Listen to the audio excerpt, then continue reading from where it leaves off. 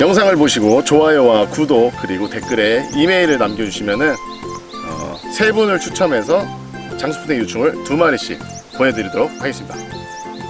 눌러주세요. 안녕하십니까 유튜브 준범입니다. 오늘은 땅 속에 사는 곤충을 잡아보겠 잡아보려고요. 그래가지고 지금 야산 야산에 와 있고요. 그리고 삽을 갖고 왔습니다. 어, 땅을 깊숙이 파진 않을 건데 어, 땅 속에는 이제 여러 곤충이 있죠. 뭐 일단은 거의 뭐 풍뎅이 애벌레 위주로 있는데 그 곤충들을 찾기 위해서는 땅을 한 어, 30cm 정도 파야 돼요. 그래가지고 어, 한그 정도 파가지고 무슨 곤충 있나 어, 보여드리도록 하겠습니다. 가보시죠. 일단은 저는 당연히 땅을 파야겠지.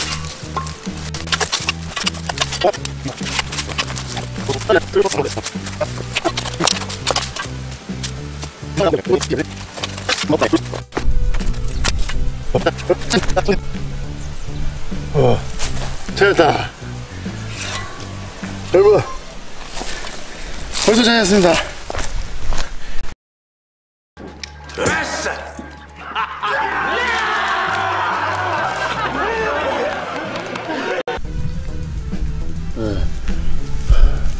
애벌레가 나왔습니다. 무슨 애벌레인지는 이제 봐야 알겠죠? 어, 아, 여기 또 애벌레 하나 더 있었네요. 음, 이거는 약간 상태가 좋지 않죠? 이건 죽은 거예요. 멜라나이제이션이라 해서 흑화돼 가지고 죽은 겁니다. 토양이 맞지 않아서 죽든지 아니면 다른 바이러스 같은 질병에 걸려서 죽은 건데. 한번 가보자. 아, 엄청 아파 보이는데? 이렇게 한번 삽으로 파서 나온 쪽은 굳이 또 삽으로 팔 필요가 없어요. 왜냐면 삽으로 파다 보면 다치기 때문에 이 다음부터 손으로 파면 됩니다.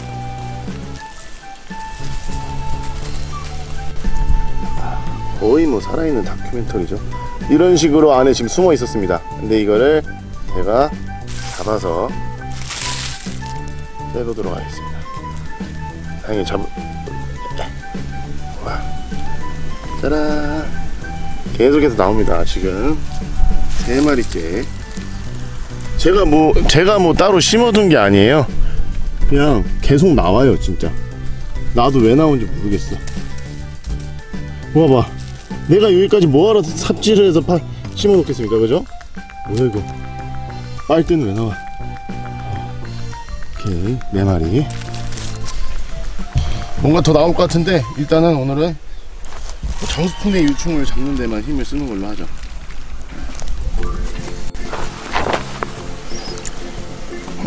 네, 보시는 것 같이 아까 가- 잡은 삽질에서 잡은 곤충 바로 이것이 장수풍뎅이 유충입니다. 어떻게 장수풍뎅이 유충인지 구별을 했냐?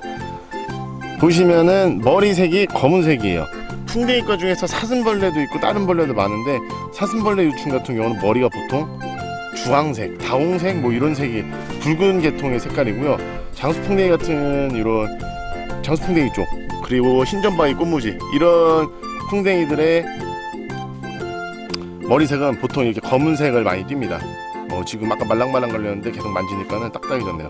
어, 그리고 어, 딱딱하다고? 아무튼 그래서 딱딱해졌는데 약간 뭐 좀 생긴 거 보면 약간 좀 징그럽게 생기긴 했는데 전혀 실제로 봐서 만져보면은 징그럽지 않습니다. 그리고 몸에 이렇게 털도 에, 털도 나 있고요.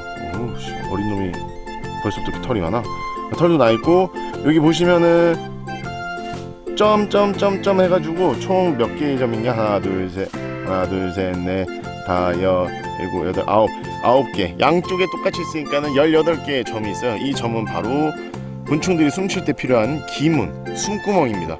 그래서 곤충은 입으로 숨을 쉬는 게 아니라 이렇게 옆에 몸 배면 옆면에 기문이라고 해가지고 숨구멍이 있어요. 여기로 해서 숨을 쉬고 있고요. 어, 그리고 다리도 여섯 개예요. 보시면은 안녕 보이시죠? 여섯 개 다리 여섯 개 그리고 등 쪽에 이렇게 라인이 보여요. 이게 어떻게 보면 사람으로 치면은 잘 보이는지 모르겠네. 잘 보이실 거예요. 사람으로 치면은 심장이죠. 심장. 그래서 이쪽으로 해서 혈액이 혈액이라고 표현하긴 모르고 어, 체강, 체절, 체강, 체강이었나? 아무튼 책 그게 있어요. 막 해모 해, 영어밖에 기억이 안 나요. 해모림프라고 해가지고 그게 이제 이쪽에서 왔다 갔다 해요. 해모림프들이 오락가락 하면서 혈액처럼 사람 혈액처럼 펌핑하면서 공, 공급을 해줍니다. 그래서 이쪽 부분이 심장으로 알고 계시면 돼요. 어, 저도 뭐라고 중얼거리는지 모르겠네요. 그리고 이쪽 약간 거무튀튀한 면 있죠? 이쪽 면은 이제 이쪽에 항문이 있어요. 보시면 지금 카메라가 제가 1인 미디어다 보니까는 잘 보일지 모르겠어요. 안 보여도 아, 안 보이면은 그 이쪽에 지금 얘가 손으로 잡고 잡고 있는 부분 이 부분이 항문에 있어요. 이쪽 부분에 그 항문이 있고 이쪽 거묵히 쌓여 있는 거는 거의 다 대변입니다. 그래서 이 장수풍뎅 유충 같은 경우는 이러한 대변으로 번데기가 돼 종령 시기 삼령 아, 삼령 종령 시기에 어, 자신의 대변으로 번데기방을 만들어요. 그래서 그 대변 안에는 이제 항균 펩타이드 물질이 많이 있어가지고 그 외부로부터 바이러스나 다른 병균을 침입을 저해합니다. 저지합니다. 그럼으로써 자기 몸을 지키면서 가장 약한 번데기 시기에 어, 완벽한 성충으로 재탄생할 수 있도록 아, 뭐라고 한 거니? 아무튼 어, 똥을 발라서 결국은 똥을 발라서 번데기방을 만들어서 그 번데기방에서 성충이 돼서 우아하게 됩니다. 그러면 장수풍뎅이가 나오겠죠.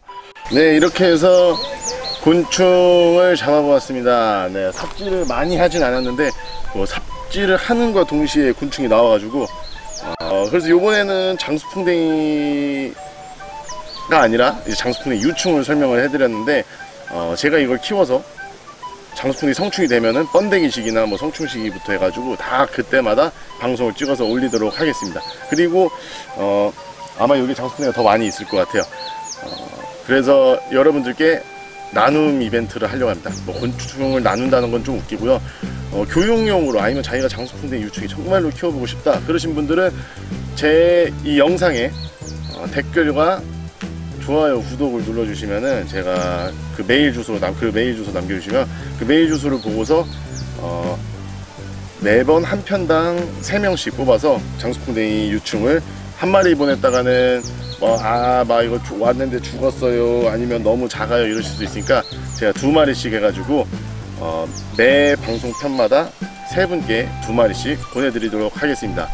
어, 지금 네 마리밖에 없는데 어떻게 더 보내주냐고 하시는데 법하면 나오겠죠. 근데 저는 이제 어떻게 보면 곤충 그 곤충 학자의 마음으로서 곤충을 뭐 다 죽이고 다 막 씨를 말리고 이런 걸 별로 안 좋아해요. 그러니까는 적당히 잡아서 여러분들께 정말 교육용으로 자기가 키우고 싶다. 자기네 집에 애, 아기들이 이런 걸 키워보고 싶어 해요 하는 분들께 제가 보내드리도록 하겠습니다. 뭐 따로 뭐 긴 글 남기실 필요 없이 댓글과 댓글, 댓글에 이메일, 좋아요, 구독 그리고 뭐 알람 버튼 해주시면 감사하고요. 거기까지만 해주시면 제가 보내드리도록 하겠습니다. 그래서 오늘 중복 TV 여기까지고요. 다음에는 좀 더 액티비티하게 움직이면서 곤충을 잡아보도록 노력해 보겠습니다.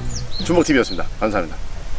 저는 거의 뭐 여러 곤충을 알려드리고 싶은데 여러 곤충을 알려드리면 정신이 없어요. 그리고 저 혼자 이 방송을 찍고 있기 때문에 누가 찍어주는 거면 제가 여러 곤충 다 여러분께 설명해 드리고 싶지만 그런 게 아니기 때문에 매번 이렇게 한 곤충씩 밖에 설명을 드릴 수가 없네요. 그래가지고 좀 아쉽긴 한데